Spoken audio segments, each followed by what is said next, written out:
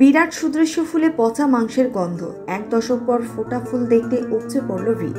নমস্কার, আমি সোনালি। আপনারা দেখছেন জবর খবর ইউটিউব চ্যানেল। বিরাট ফুল থেকে বেরোচ্ছে ঝাঁঝালো পচা মাংসের গন্ধ। সেই বিকট গন্ধ শুকতে অন্তহীন উৎসাহ মানুষের। আশ্চর্য ফুল চাক্ষুষ করতে এবারে হ্যালোইনের দিনে ভিড় উপচে পড়েছিল ক্যালিফোর্নিয়ার সান ডিওগো বোটানিক গার্ডেনে। ক্যালিফোর্নিয়ার পার্কের এই বিরল ফুল গাছটির নাম কর্পোস প্লান্ট। বিজ্ঞানসম্মত নাম অ্যামোরফোফালাস টাইটানাম, যাকে দেখলে সত্যজিৎ রায় রচিত ছোট গল্প সেপ্টোপাসের খিদের কথা মনে পড়বে। সেপ্টোপাস ছিল মাংসুক গাছ, গল্পের কথা নয় আলাদা। কিন্তু বাস্তবের গাছ কি মাংসুক হতে পারে?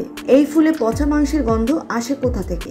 উত্তর এখনও জানা নেই। তবে বিরল জাতের ফুল গাছ কর্পোস প্ল্যান্ট পদে পদে চমকে দেয় উদ্ভিদ বিজ্ঞানীদেরও। অন্য ফুলের মতো নিয়ম করে ফোটে না এই ফুল। একটি ফুল সম্পূর্ণরূপে ফুটতে সময় লেগে যায় প্রায় এক দশক। তার উপর ফোটার পর তার প্রস্ফুটিত থাকে মাত্র আটচল্লিশ ঘণ্টা। প্রবল দুর্গন্ধযুক্ত এই ফুল দেখতে জনসাধারণের উৎসাহের একটি অন্যতম কারণ। বারো ফুট লম্বা এই ফুল থেকে বেরোনো পচা মাংসের গন্ধে আকৃষ্ট হয় ক্যারিয়ান বিটল ফ্লেস ফ্লাই এর মতো পতঙ্গরা। তারাই এই ফুলের পরাগ সংযোগে সাহায্য করে। সব মিলিয়ে রহস্যময় কর্পস প্ল্যান্ট নিয়ে মানুষের কৌতূহলের শেষ নেই। ফলে এক দশক আগের মতোই এবারও সান দিওগো বোটানিক গার্ডেনের টিকিটের হাহাকার পড়ে গিয়েছিল। হ্যালোইনের আগে ভাগে বিক্রি হয়ে গিয়েছিল পাঁচ হাজার টিকিট। কেবল অদ্ভুত চরিত্রের কারণেই বিরল নয়। বিপন্ন উদ্ভিদের তালিকাভুক্ত এই গাছ। আমেরিকার উদ্ভিদ বিজ্ঞানীদের বক্তব্য, নগরায়নের কারণে বলি হচ্ছে কর্পস প্লান্ট। সারা বিশ্বে বেঁচে আছে আর মাত্র হাজার খানিক গাছ।